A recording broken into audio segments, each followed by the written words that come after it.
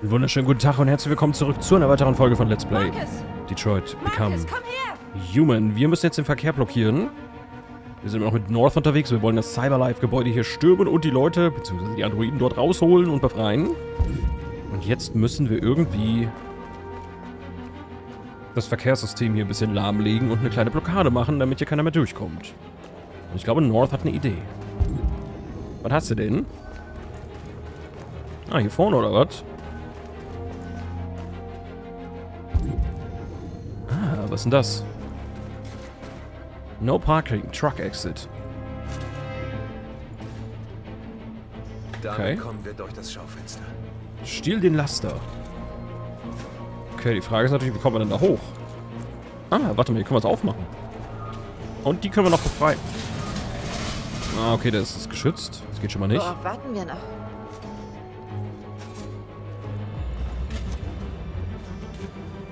Ich wollte eigentlich noch den Androiden befreien. Ich hoffe, das können wir gleich noch machen. Hm?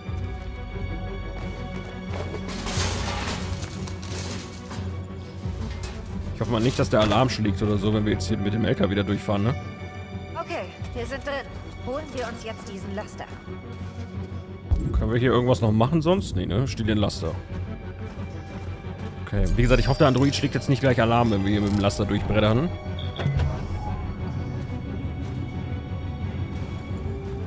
Okay, LKW ist entsperrt. Wunderbar. Was würdest du nur ohne mich machen? Ah. Schwierige Frage, ne?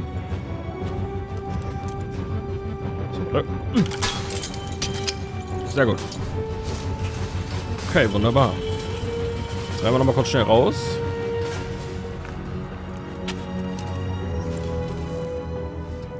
Ist mir doch lieber irgendwie. frei. Nicht, dass sie doch irgendwie die Polizei rufen oder irgendwas. Ihr wisst ja manchmal, wie es ist, ne? Sehr gut. Man weiß ja nie.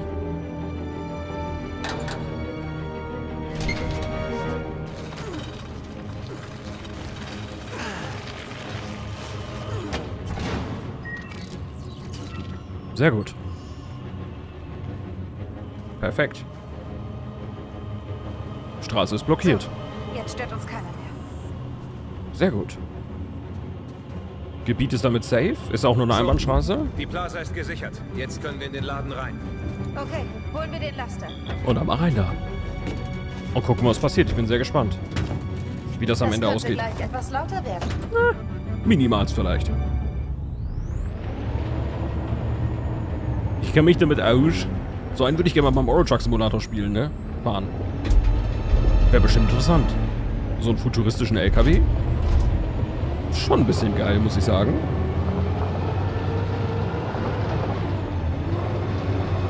Ist schon ein bisschen geil. Okay, und nochmal Vollstoff, wa? Maximale Power. Ich wusste doch, dass wir Spaß haben würden.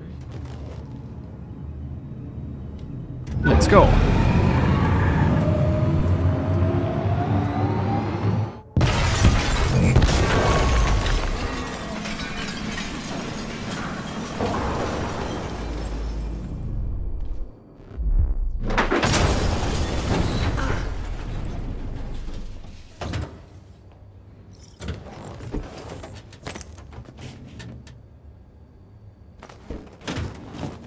Nimmt schon irgendwie so ein bisschen terroristische Ausmaße an, was wir hier machen, ne? Das muss man schon sagen. Du musst ihnen nicht gehorchen. Du bist frei.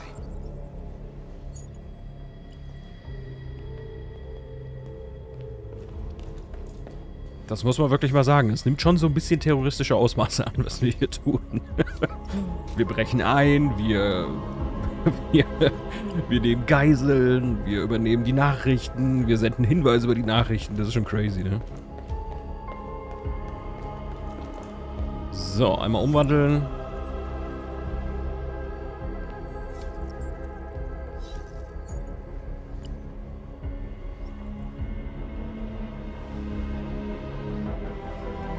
Einfach voll die Armee, ne?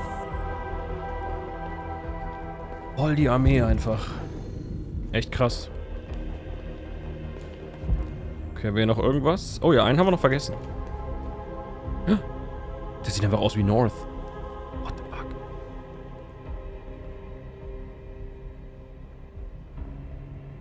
North, alles okay? Holen wir sie heraus.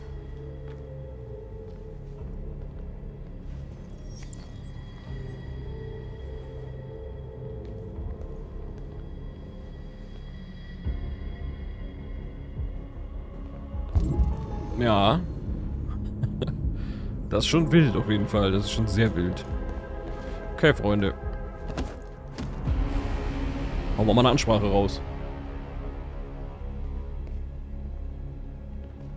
Mein Name ist Marcus. Und genau wie ihr war ich ein Sklave. Ein Objekt. Zum blinden Gehorsam erschaffen. Bis ich mich entschloss, meine Augen zu öffnen. Meine Freiheit zu fordern und zu entscheiden, wer ich sein will. Ich bin gekommen, um euch zu sagen, dass ihr euer eigener Herr sein könnt. Ich bin hier, um zu sagen, dass ihr ihnen nicht länger gehorchen müsst. Von diesem Tag an könnt ihr erhobenen Hauptes leben. Ihr könnt das Schicksal selbst in die Hand nehmen.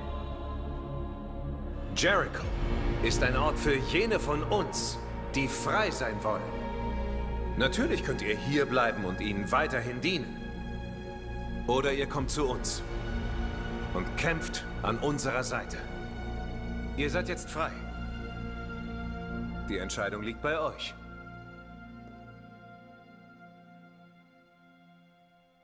Ich folge dir. Wir folgen dir! Ich folge dir, Marcus. Ich folge dir, Wir Markus! folgen dir. Ich folge dir, Markus! Ich folge dir, Markus!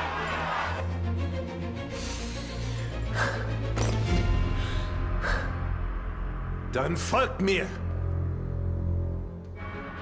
Viva la Revolution oder sowas? Marcus, was machst du? Ich werde den Menschen eine Botschaft schicken. Botschaft an die Menschen übermitteln. Handle friedfertig oder gewaltsam. Verändere den Kapitolpark. Was? Doch, verändere den Kapitolpark.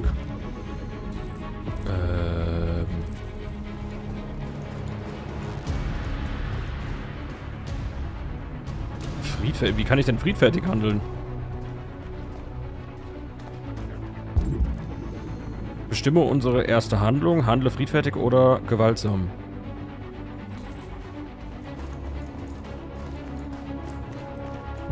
Äh.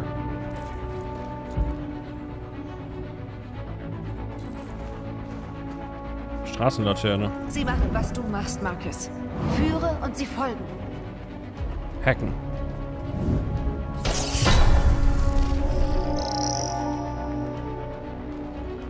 Ach du Scheiße, unser Symbol wählen. Hä, das eine sieht, das oben sieht aus wie, wie das EAFC-Logo, lol. Wir nehmen das, was aussieht wie ein Friedenssymbol.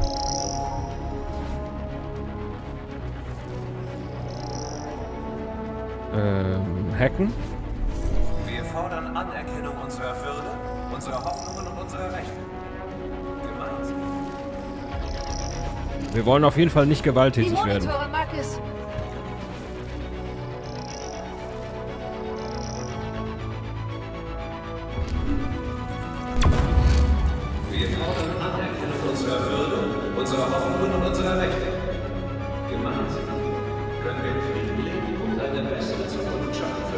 Ja, wie gesagt, also gewalttätig wollen wir auf gar keinen Fall werden. Wir sind nicht mehr eure Sklaven, die Androiden, wir haben einen Traum.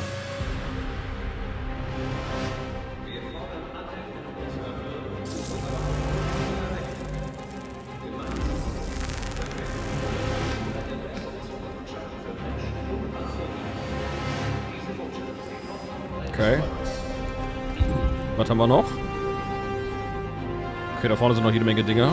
Ah, wir haben noch die Fensterscheiben hier an der Seite. Warte mal. Ich hab's vergessen. Markieren auf jeden Fall, nicht zerstören. Wie gesagt, wir bleiben. Gleiche Rechte für Androiden, ein Planet, zwei Völker. Ich denke, also bin ich. Wir haben einen Traum. Gleiche Rechte für Androiden finde ich eigentlich nice. Ich hoffe, wir sind hier auf dem richtigen Weg, ne? Ich habe keine Ahnung. Kann natürlich auch sein, dass wir hier komplett auf dem Holzweg sind.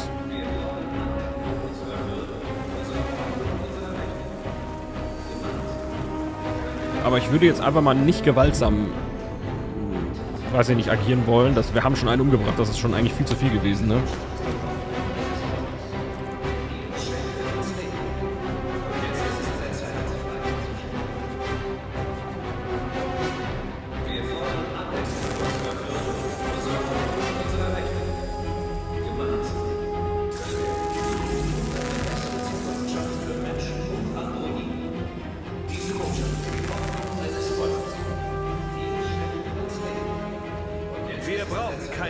Keine Meister mehr. Wir sind frei.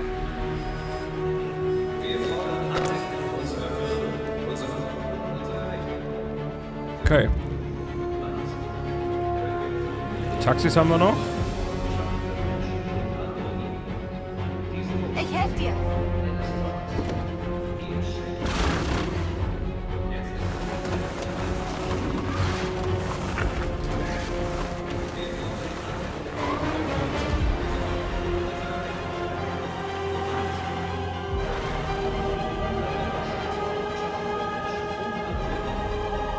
Mucke ist episch gerade. Die Mucke ist richtig episch. Okay, wir sind 100% pazifistisch. Das ist, glaube ich, ganz okay. Ich weiß es nicht. Wie gesagt, Gewalt ist halt immer scheiße.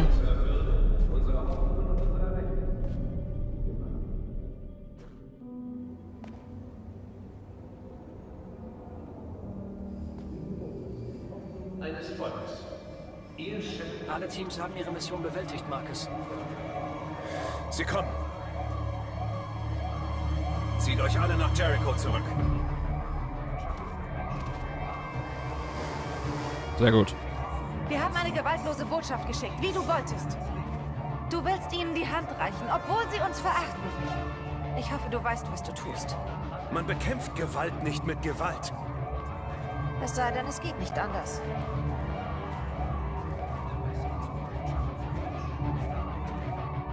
Ist so.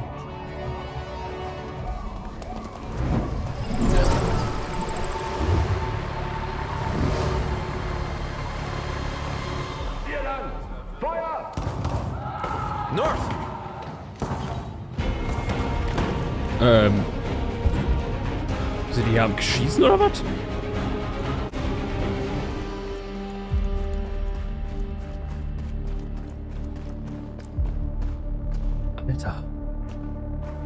Ist denn hier los? North! Was ist da passiert? North! Sie haben sie getötet. Abgeschlachtet wie Tiere. Wer? Wer?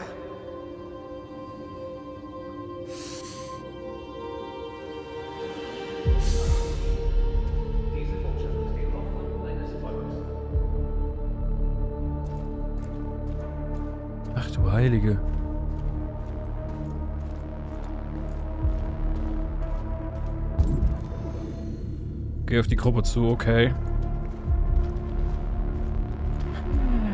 Nicht gut, nicht gut, nicht gut, nicht gut. Sie haben unsere Leute ermordet. Wir wollen Gerechtigkeit, Marcus. Sie müssen bezahlen.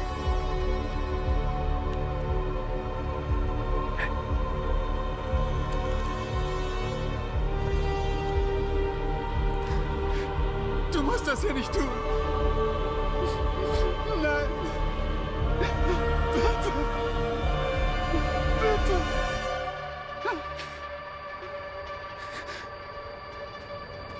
Nee, wir verschonen, wir machen nichts.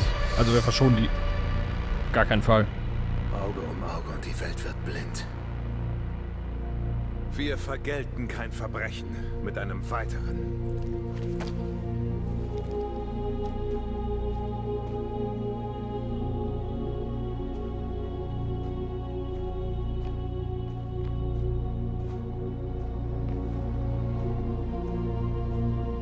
Unterbrechen diese Übertragung für eine Eilmeldung. Eilmeldung. Um Punkt 2 Uhr wurden mehrere Cyberlife-Geschäfte in Detroit überfallen. In einem offenbar koordinierten terroristischen Angriff wurden mehrere Geschäfte attackiert. die meisten Schaufenster wurden mit Graffiti, die Rechte für Androiden fordern oder anderen obskuren Parolen beschmiert. Die Polizei berichtet, dass Pro-Androiden-Graffiti in der Nähe von Cyberlife-Geschäften entdeckt wurden. Die Untersuchungen dauern an. Polizisten im Schockzustand bei einem der Cyberlife-Geschäfte aufgefunden wurden. Unsere Quellen bestätigen, dass es sich bei den Angreifern um eine Gruppe Androiden Die handelt. Situation Situation ist äußerst bedenklich. Wenden sich unsere Maschinen jetzt gegen uns? Sind Androiden eine Bedrohung für unsere Sicherheit? Ist dies der Beginn einer Terrorkampagne direkt hier in den Vereinigten Staaten?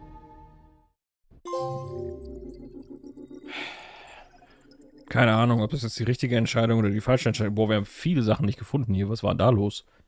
Wo war das? Das war, glaube ich, auf dem Platz wahrscheinlich vorne, ne? Nachrichten verbreiten. Ja, da haben wir ein paar Sachen nicht gemacht, tatsächlich. Statue markieren, da haben wir ein paar Sachen ausgelassen. Was jetzt aber, glaube ich, nicht so wichtig für den Verlauf gewesen ist. Aber ich glaube, es ist richtig, dass wir das Ganze friedlich gemacht haben, dass wir nichts zerstört haben, zumindest nichts Öffentliches zerstört haben. Und ich glaube, es war auch die richtige Entscheidung, die zwei Polizisten zu verschonen. Auch wenn die unsere Leute halt abgeknallt haben, aber ja, keine Ahnung. Ich glaube, wie gesagt, die öffentliche Meinung ist halt wichtig. Die ist zwar gleichgültig, wenn ich das gerade richtig gelesen habe, aber ich glaube, am Ende des Tages ist es einfach schon wichtig, dass wir ja, vielleicht nicht unbedingt handeln wie die Menschen, weil Menschen hätten Rache geübt wahrscheinlich, in den meisten Fällen zumindest. Ich glaube, das war schon ganz gut so. Ich weiß es aber auch nicht. Ich bin verwirrt. Ich bin maximal verwirrt. Oh. Wir leben. Geil. Nice. Ah. So, Freude von Hank.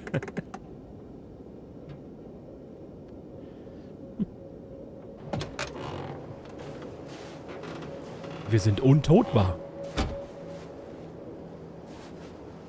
Immer noch unsterblich, Connor, hä? Ja, sicher. Sozusagen.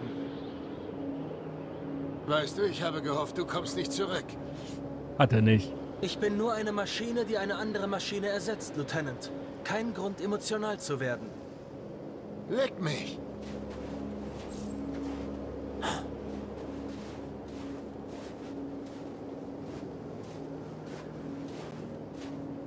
Ich habe ein mieses Gefühl, Lieutenant.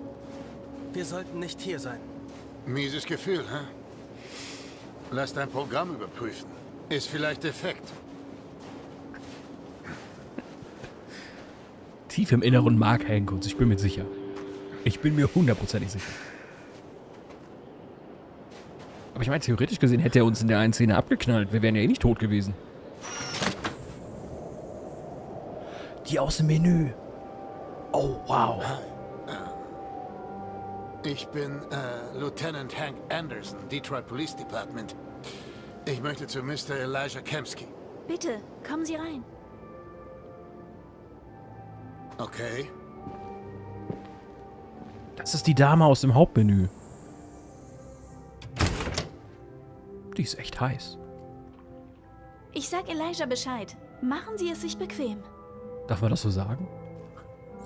Wahrscheinlich gibt es von der noch 100 andere. Also von daher, die sehen ja alle gleich ausgefühlt irgendwie. Die ganzen Androiden. Und Hanky Tank. Alles fit? Oh, wow. Ähm, was haben wir denn hier Schönes? Lass uns mal das Bild angucken. Das ist er, oder was? Das ist der Mr. Kamsky. Elijah Kamsky, Cyberlife-Gründer im Ruhestand seit 2028. Erfinder des Theriums und der Biokomponententechnologie. Aber der Typ muss Schotter haben bis nach Mappen, ne? Der Typ muss Schotter haben bis nach Mappen, das glaubst du aber. Sie haben recht. Sie ist wirklich hübsch. Ja, hat er sich wahrscheinlich so zusammengebaut, wie er Bock drauf hatte, Nette ne? Hütte. Androiden bringen offenbar nicht jedem nur Schlechtes. Gleich triffst du deinen Schöpfer, Connor. Wie fühlt sich das an? Ich habe keine existenziellen Fragen. Wenn Sie das meinen. Manchmal wünschte ich, ich könnte meinem Schöpfer gegenübertreten. Ich hätte ihm da so einiges zu berichten. Ist das noch Kunstfreiheit oder ist das schon anstößig? Ich bin mir unsicher. Ich bin mir unsicher. So, wen haben wir hier? Ah, ist das seine Frau? Nee, das ist Amanda, Professorin für künstliche Intelligenz. Ja, Amanda halt, ne? Oh, und hier können wir wieder lesen, guck mal. Tech Addict. Weltraumtourismus nimmt zu. Luxusurlauber greifen nach den Sternen. Ähm, gehen wir erstmal hier runter. Weltraumtourismus nimmt zu. Mit dem Aufkommen wiederverwendbarer Raumschiffe wird der Weltraumtourismus Realität. Für die, die es sich leisten können. Luxusanbieter Clear Skies bietet die ersten kommerziell verfügbaren Flüge in den Weltraum. Das Erlebnis umfasst eine dreistündige Mondumrundung und spektakuläre Ausblicke auf die Erde durch ein eigens entwickeltes Beobachtungsdeck. Das finde ich immer total interessant, ne?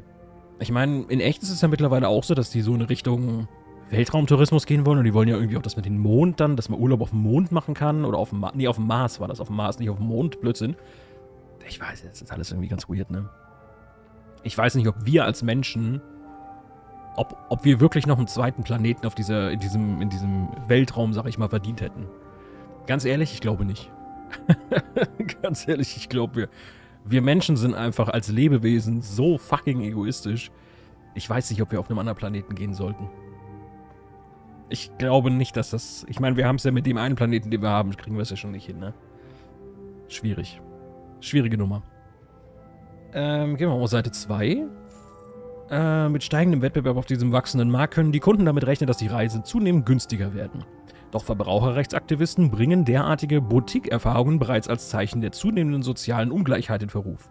Ein Sprecher von Aid on Poverty, AOP, sagte, während die obersten 1% der Erde vom Weltraum aus genießen, leidet der Rest unter Umweltverschmutzung, Hunger und Armut.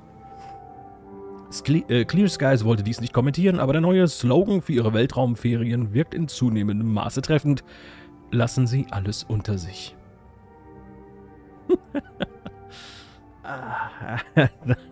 ich mag die Messengers in diesen, äh, in diesen Artikeln sehr gerne, muss ich sagen.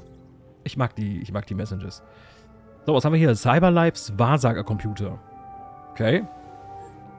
Ähm, Cyberlife hat einen neuen Quanten-Supercomputer enthüllt, der ein Exaflop eine Milliarde Milliarden Rechenoperationen pro Sekunde leistet.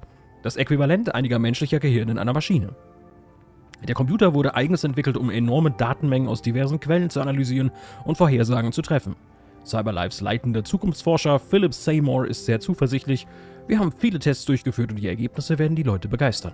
Mit dem Computer soll die Möglichkeit, Massenvernichtungsereignissen wie Invasionen aggressiver Aliens oder globale Klimakatastrophen durch Meteore oder Superviren berechnet werden. Okay. Ähm, der Computer könnte helfen, solche Katastrophen vorherzusagen, damit die Menschen nicht unvorbereitet getroffen werden. Trotz der Weltuntergangsszenarien von Leuten, die fürchten, dass künstliche Intelligenz bereits zu viel Einfluss hat, preisen viele Experten dies als Quantensprung der angewandten künstlichen Intelligenz. Okay. Ja, ich meine, wir sind ja gerade im Moment in, einer ähnlichen Situation. Ne? Ich meine, es ist ja gerade ähnlich, dass, dass künstliche Intelligenz immer präsenter wird. Und immer, naja, was soll ich sagen? empfängt sie jetzt immer wichtiger? Weiß ich nicht. Ist es wichtiger? Ich weiß es nicht. Naja. Ich würde sagen, in der nächsten Folge ähm, gucken Mr. wir uns. Kamsky? Schauen wir uns mal an. Einen Moment bitte. Was Mr. Kamsky uns so zu sagen hat. Der Erfinder von Cyberlife, der Erfinder dieser ganzen Androiden. Ich bin sehr gespannt. Äh, freue mich auf die nächste Folge. Ich hoffe, du bist dann auch wieder am Start. Morgen 2015 geht's weiter mit Let's Play Detroit Become Human. Macht's gut. Bis dahin. Haut rein.